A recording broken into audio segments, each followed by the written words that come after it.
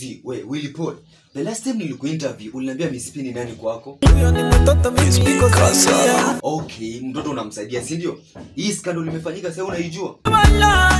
Sijui anything about it acha ufa sitaki ufala. Azizi Miss P tulia na deal na yeye. Acha ufala bana. Na, unajua hii kitu umefanya Willy Paul ukiconfess ndo tutakuachilia free. Haya tuanze mara ya kwanza mkipatana na Miss P ulimwambia nini?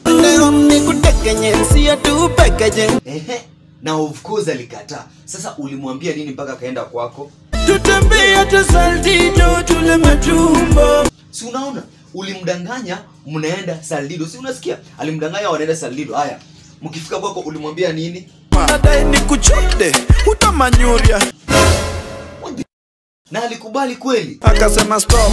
Salamu aleikum usinipandishe hii azi Miss P tulia. Miss P tulia. Hii niachie tu. Mimi ni deal nayo mpaka mwisho. Okay sawa.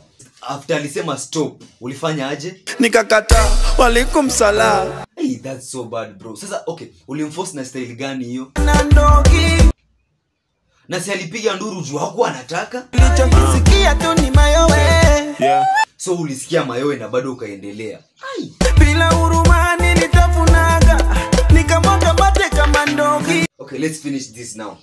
For everyone's sakes hapa nataka uniambie how did you feel after umefanyia unyama mtoto wa wenyewe? Really you should explain that in court. Mfungeni sahii twende na yeye court. Kesi imeisha